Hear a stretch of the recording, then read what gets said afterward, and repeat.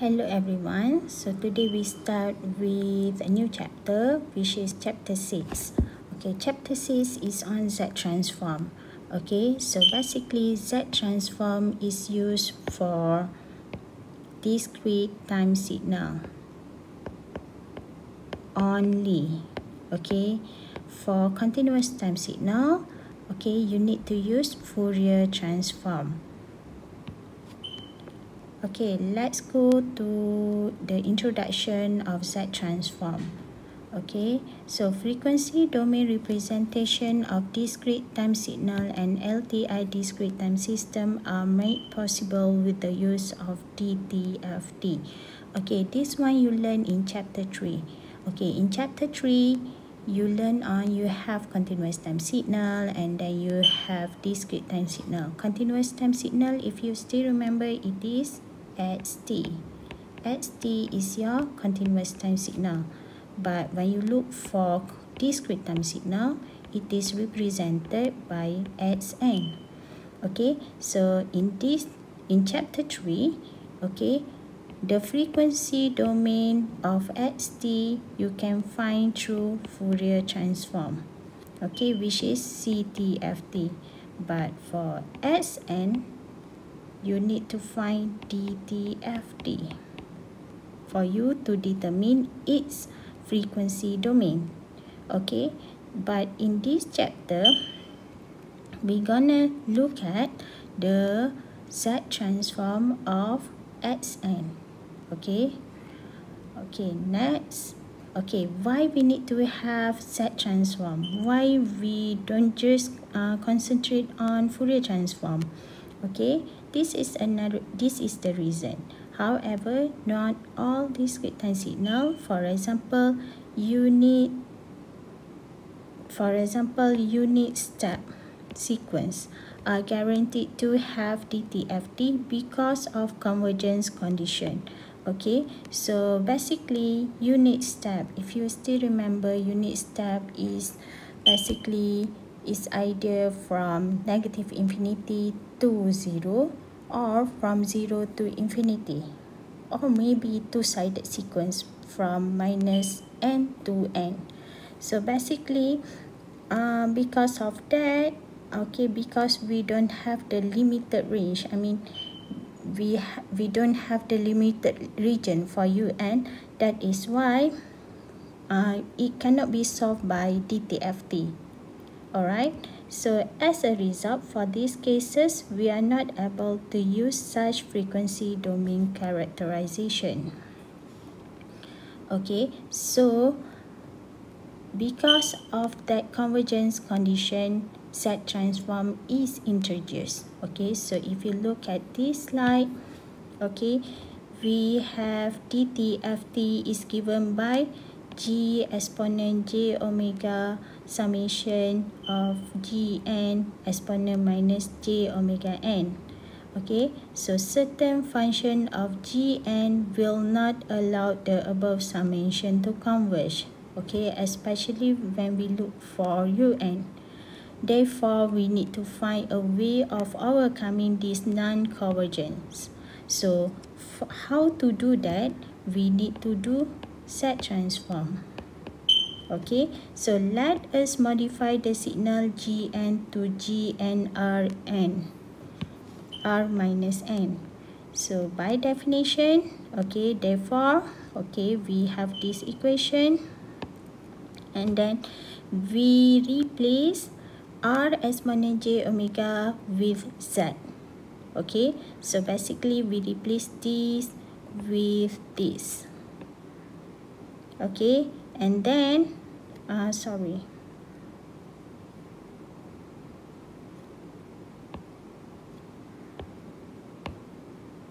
Okay so if you look at here this is actually your z transform function i mean the z transform equation.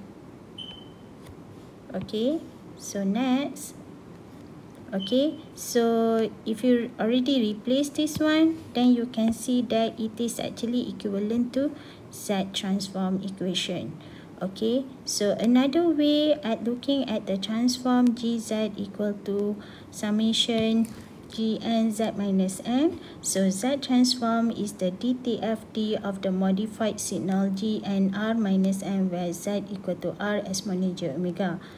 So by choosing the right value of r, we can make the summation above to converge.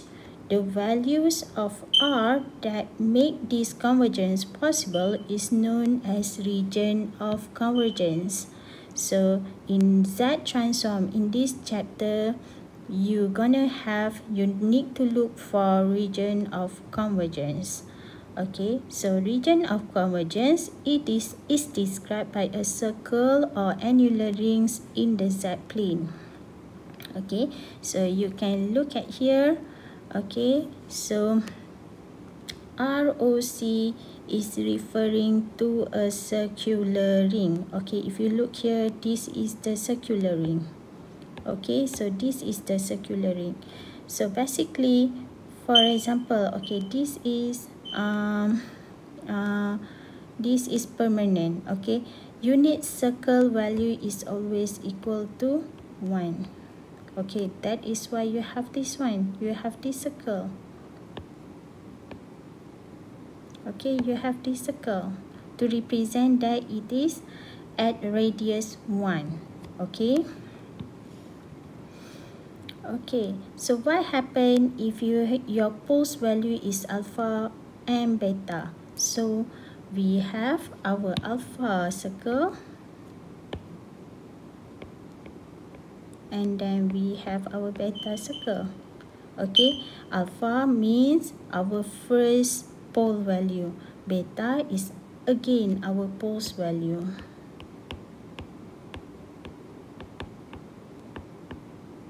Okay, so each pulse value is represented by a circle. Okay. Okay, next, set transform of finite sequences.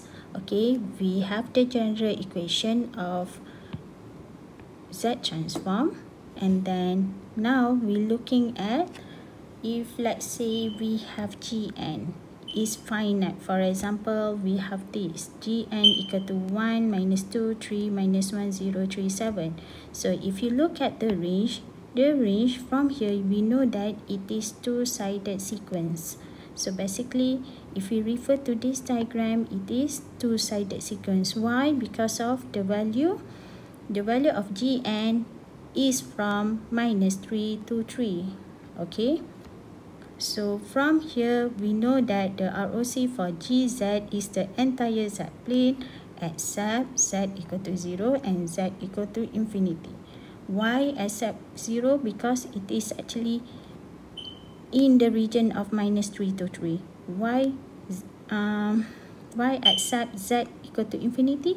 Again because of the value of z is in between minus 3 to 3 only. Okay. Alright, next. If Gn is finite, for example, Gn, the range is from 0 to 3. So if you look at the range, it is actually referring to right-sided sequence. Okay, so if you look at the right-sided sequence, you look at this illustration, it is 0 to 3, meaning that it is actually only at the positive side okay so what happened if you look here okay gz is the entire z plane except z equal to 0 yes because of okay it is right sided so it's it it won't consider the 0 okay but it's considered at infinity because it is right sided again Okay, next. Gn is 1 minus 2, 3 minus 1. The range is minus 3 to 0. So from the range, we know that it is left-sided sequence. So if you look at the illustration, it is from minus 3 to 0. So basically, it is left-sided. So it, it just consists of values uh, at the negative side. So because of that, is considered the z equal to 0 but then it's not considered the ROC at z equal to infinity. Why? Because of at infinity we don't have the value right? Okay. So next, the rational Z transform. Okay, so basically for rational Z transform, this part is just to show that we have for you to to your transfer function must consist of numerator and denominator part. Okay, so when I say numerator, numerator is the upper part. Denominator is your lower part. Okay, so basically HZ is formed based on the Xn and Yn relationship. So basically Sn uh, the the difference equation between xn and yn. So how to get his z? His z equal to yz over xz. Alright. So basically from here we know that his z consists uh, his z is actually consists of the polynomial. Okay two polynomial. One polynomial is referring to numerator part. Another polynomial is referring to denominator part. Okay? So if you look here again z equal to uh, E1 are M zeros of his Z on Z plane and Z equal to lambda 1 are N poles of his Z. Okay, meaning that when you have his Z transfer function, okay, his Z transfer function consists of two polynomials. Okay, one for numerator, the upper part is numerator, numer numerator, lower part is denominator okay? So basically how to get the values of zeros you need to find from your numerator part. But the post value you can find from denominator part. Okay? So how to get the value you need to do factorization. That is why in previous slide we have this one okay? Because of we need for you to make your life easy to find what is your post okay? This is your post value and your zeros value. You can get your zeros value. And then from here you can get your post value. Okay? All right so let's move to example number two So this is the question. Okay, we have the z transform of mu n where mu n equal to 1 over 1 minus z minus 1 which is equal to z over z minus 1. Okay, so for modu uh, modulus z greater than 1. Okay, so if you look at this range, okay, modulus z greater than 1 meaning that it is right-sided sequence.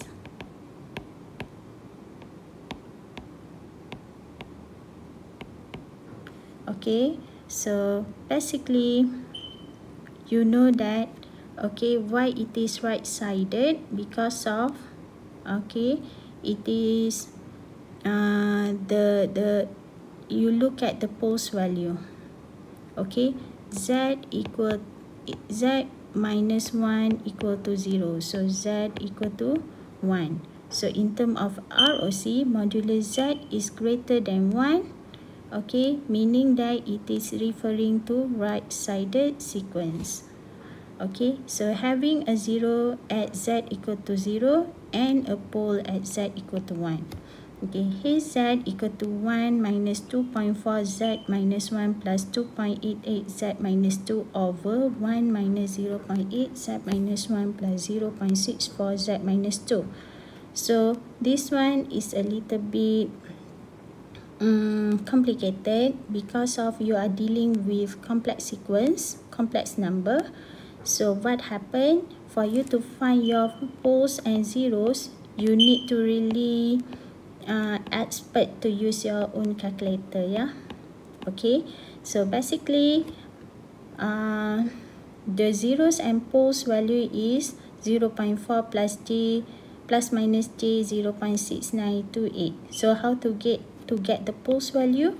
Again you need to refer to deno denominator part. But for zeros you need how to find your zeros value you can you need to refer to numerator part okay. Okay so next we look for the z transform and associated pole zero plot for a right-sided exponential sequence. So for you to answer that transform question you can refer to the formula sheet.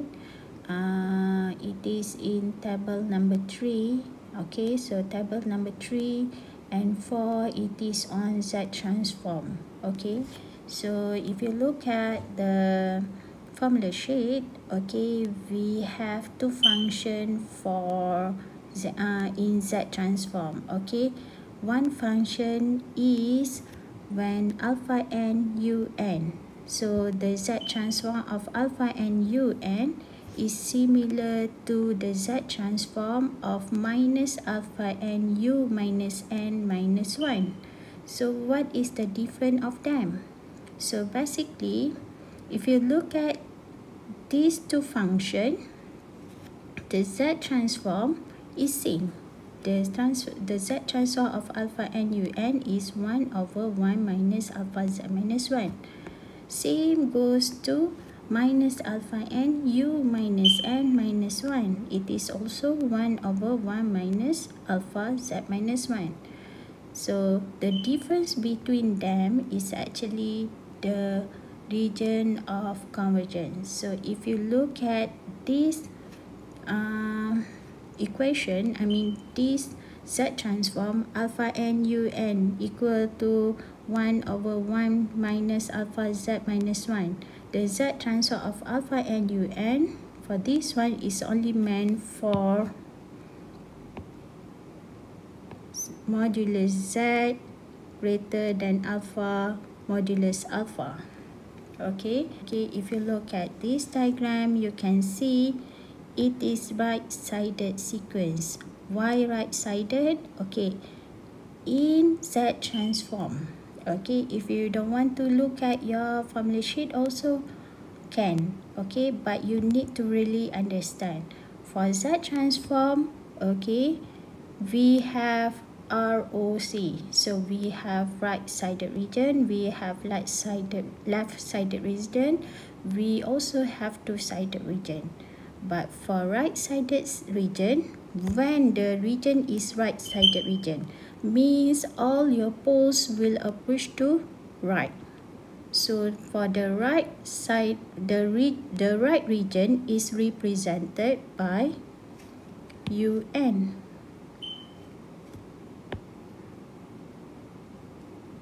Or mu n. Okay, how to get the value of alpha? Alpha is actually your poles value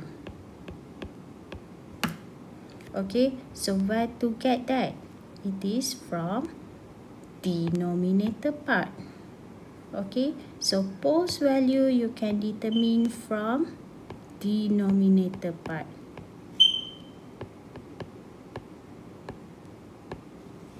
okay okay next okay next we move to minus alpha n u minus n minus 1 Okay, this is the left-sided region. Why left-sided region? Because of your modulus modulus z is less than modulus alpha.